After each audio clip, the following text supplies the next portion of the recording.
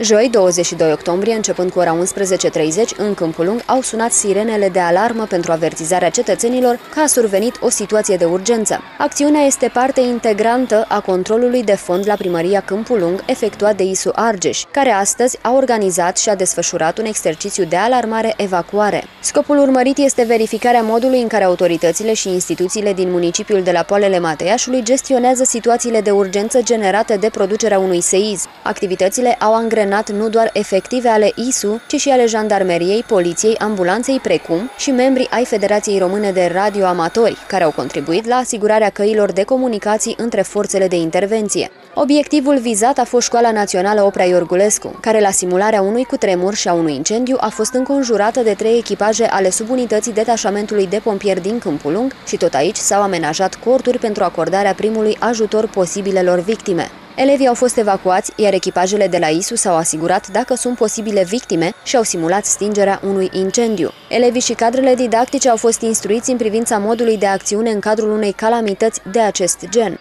În cadrul controlului de fond executat la primăria uh, municipiului Câmpulung, vom executa și un exercițiu de alarmare-evacuare la școala Opera Iorgulescu, precum și exerciții de intervenție, evacuare persoane, eventuale persoane surprinse în școală în timpul cutremurului și un accident rutier cu persoane încarcerate.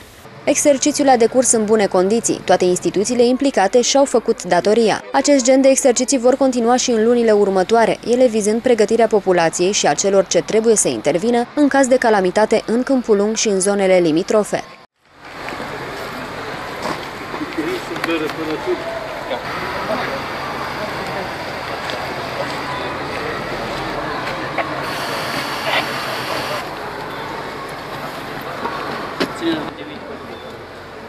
Să luăm prima oară așa. Vedeți, e ușor. Așteptați să verde în spate, să nu...